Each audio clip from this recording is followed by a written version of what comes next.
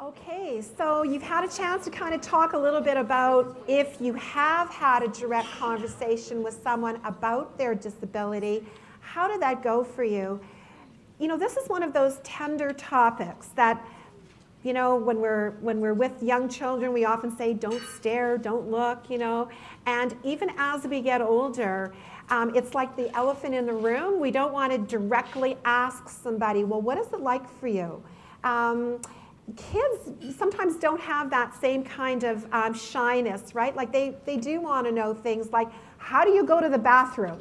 That's a really important question for children. Um, you know, how do you sleep at night? You know, so and ch- child to child, they'll often ask each other very direct questions that adult to adult, we would be mortified to ask a question like, how do you go to the bathroom, right? So um, we're you know here to be able to talk about what are some of those attitudes what holds us back. And the research that the canadian government did about this question found that about um, 75% of people said that they know somebody with a disability. I'm just looking for the slide. There it is. Um, and about half claim to have asked uh, the person directly about their disability. But sometimes on these kinds of surveys there's a bit of a tendency of over reporting. I would bet not as many have actually had that direct conversation as perhaps said they had.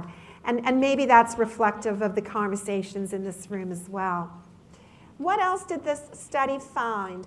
Um, three tenths of Canadians said there is somebody with a disability in my workplace. So one might think that the fact that you know the person who sorts the mail or who does the filing has an intellectual disability or that somebody with a physical disability is working in the cubicle next to you one might think that that actually would have a positive attitude on adult attitudes toward like a positive influence on adult attitudes towards disability. But in fact there's no evidence at all that having somebody working beside you with a disability is going to have a major impact on a person's attitude about inclusion. Because as adults, we're set in, you know, like a lot of our attitudes are set, as I referred to a couple of minutes ago. It's much more powerful to have someone at the desk beside you in grade one than when you're 45 years old. And that, of course, makes sense to the early childhood practitioners in this room. What else? Um, they asked questions on this survey about what do you think are the uh, negatives that persons with disability experience in Canada, and Canadians reported, of course, prejudice. They could understand that intellectually, that persons with disabilities are often discriminated against. There's a case in Manitoba right now where uh, an agency was attempting to open a group home for two men with intellectual disabilities in a rural community, a, bedroom community about half an hour outside uh, Winnipeg city limits. And the town said, We don't want those people living here. They're not from that community originally, um, but the agency wanted to open the group home there. And you know, the municipality has voted against it, and now it looks as though it's going to be working its way up to human rights, uh, the Human Rights Board as a violation. Um, but that's the kind of thing I'm talking about prejudice. So when we asked uh, Canadians, well, what do you think we should do about that problem? They came up with some answers.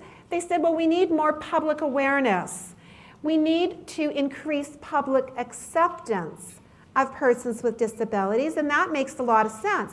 And in fact, right now, the Canadian Association for Community Living is engaged in a big social media campaign. Some of you may have seen this um, ad appearing. Um, if you can't read the writing right up at the top, it says, Chances are he'll never cure cancer, walk on the moon, or be prime minister. But then again, neither will you. and this is called the No Excuses campaign.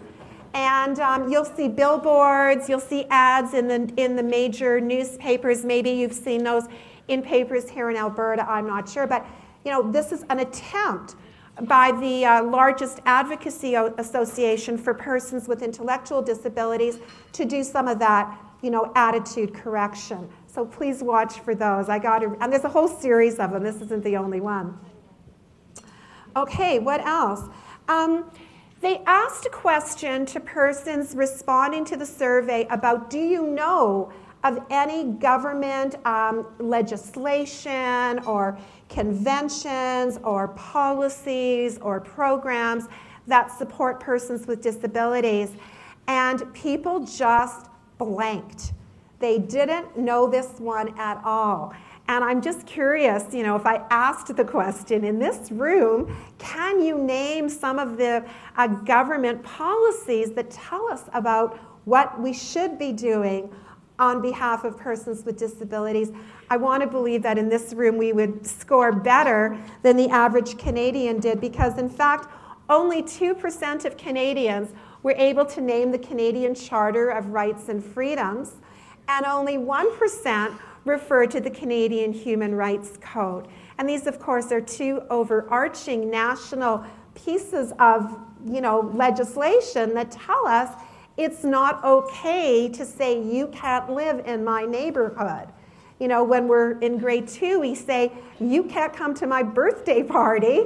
And it's kind of the same attitude that we're seeing um, in this one community in Manitoba. So, when we look at the Canadian Charter of Rights and Freedoms, of course, it gives um, strength to the rights of every type of Canadian. Um, all types of Canadians, regardless of color, regardless of religion, regardless of um, race, regardless of gender, regardless of sexual orientation, um, and regardless of mental or physical disability. This was a remarkable step in Canada that we recognized at a national level that persons with disabilities have the same rights as every other Canadian does. Big step forward for us. Um, and of course, our Human Rights Act at a national level, and I'm sure that Alberta's code would be uh, congruent with that, is that it is up to service providers to accommodate, um, you know, it, including people with disabilities. So if we have a blind person employed in our workplace, we may need to have braille signs, and you'll see more and more public buildings with elevator signs, for example, that are in braille as well as the numbers. And that's an example of accommodation that's going on. So, as service providers, it's not okay for us to say, you know, you can't come to my program because you're not toilet trained, for example, which is a story I heard not that long ago about a program who denied access to a child with cerebral palsy because she wasn't toilet trained. And the nursery school teacher said, well, she'll be embarrassed in front of her friends. Well, hello, the fact is, this little girl will maybe never be toilet trained. Does that mean she can't go to preschool? Does that mean she can't go to elementary school? No, it is up to the service providers to accommodate. What else? Um, here in Alberta, um, I was very pleased to see um, the kind of transformation that's going on in your province with respect to inclusion. So your inclusive childcare program, you know, has some really strong value statements about children being children first, and that um, parents should have the same kind of access to programs in their community as any other parent would have, and that a quality childcare program can meet the needs of all children. The special programs have been shut down over the years, and it's in the mainstream that children with special support needs are getting what they need from us. Um, you're setting the direction framework, and I know there's information about that on your tables. Um, talks very clearly about this is a way of thinking and acting. I love those two things together. It's not just enough to talk about it, we need to walk the talk. So, thinking and acting together is what inclusion is based on. And we need to have universal acceptance and, uh, you know, and belonging for all kids, all students. It's a values based approach. And number 10 in the Setting the Direction framework, framework refers particularly to the government's intent to help you all to develop a model of support you know, for children with additional support needs that works in the community. The most natural environment, not the special program, but the neighborhood play school, the Magic Puddle Play School is where it's going to happen. Um, and I love the part about a seamless transition into grade one because that's often a bit of a rocky place, right? Just around the time that the child is really, you know, succeeding in the preschool environment. Now we've got to move them into a new, much bigger system with some barriers that sometimes get in the way. It's up to us to get rid of those barriers. That's on, that onus is on us as service providers. You know, internationally, we've got a couple more I want to draw to your attention. Of course, there's the Convention on the Rights of the Child. Uh, not that long ago, November 20th, we celebrated Canada's signing on to that.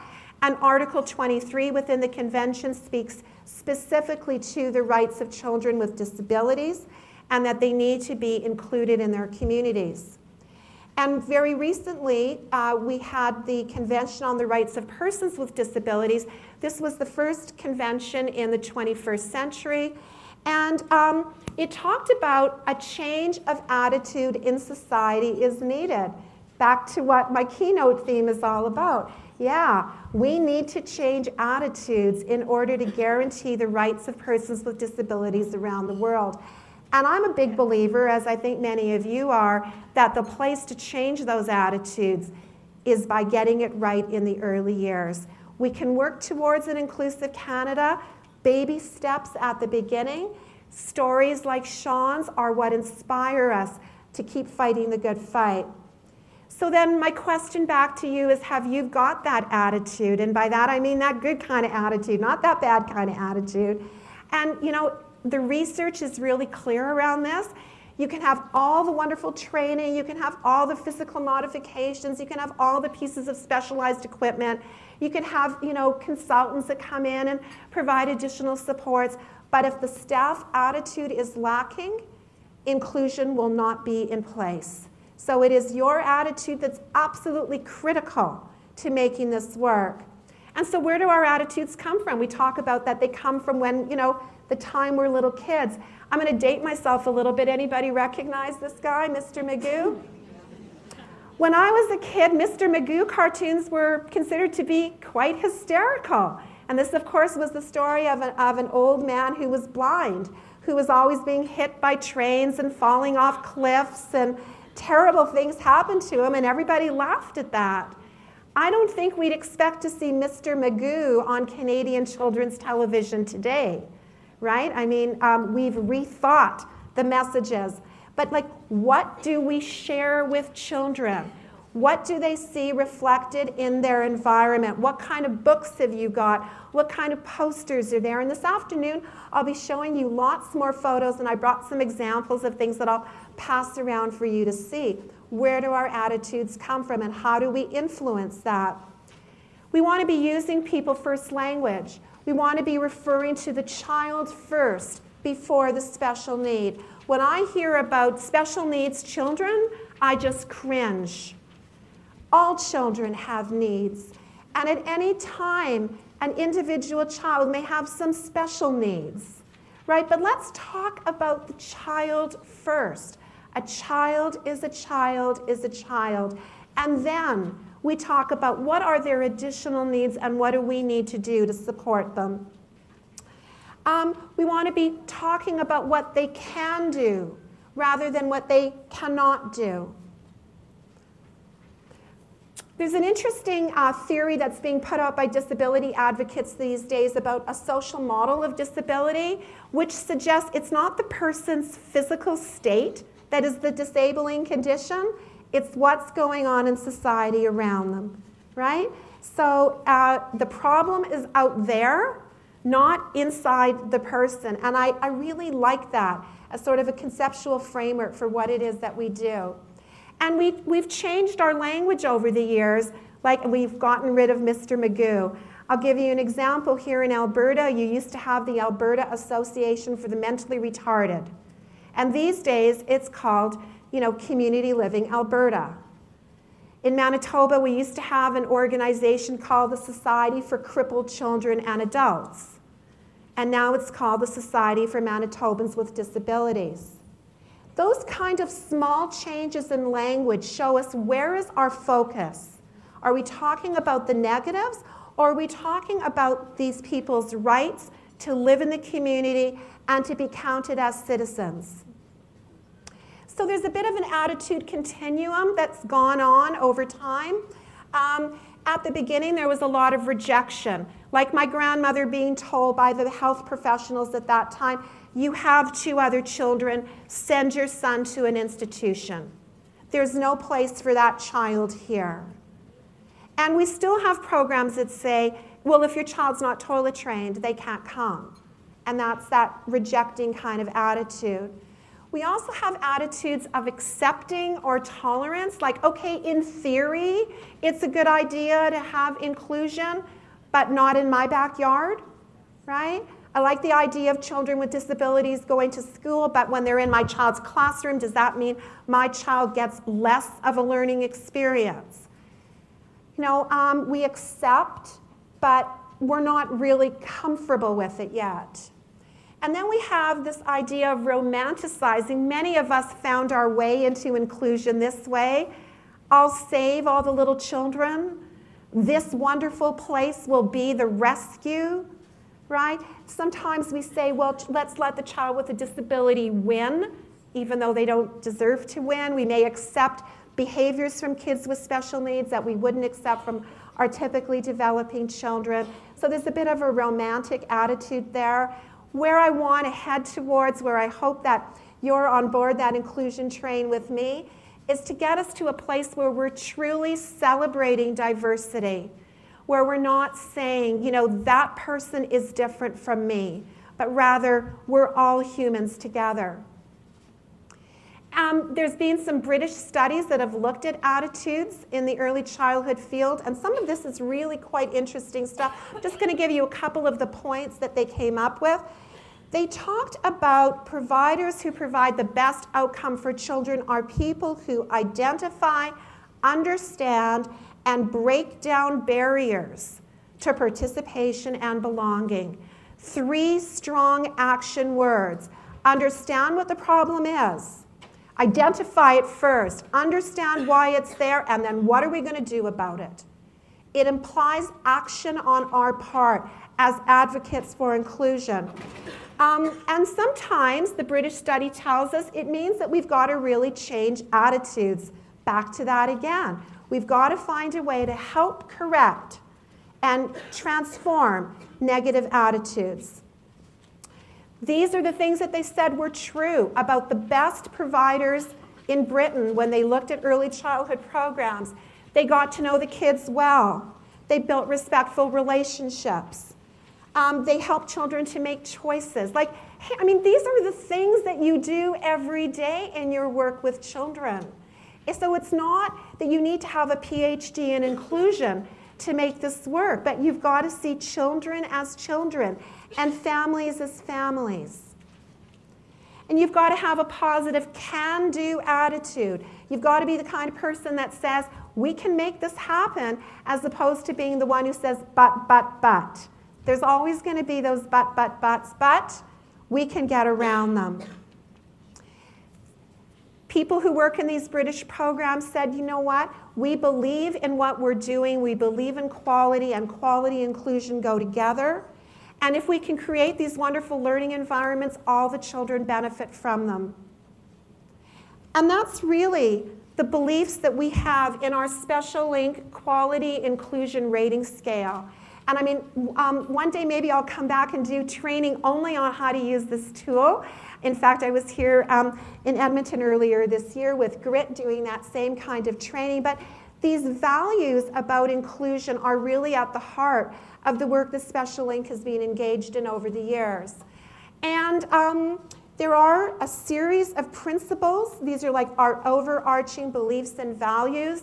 Things like zero reject, the idea that we don't say you can't come if you're not toilet trained.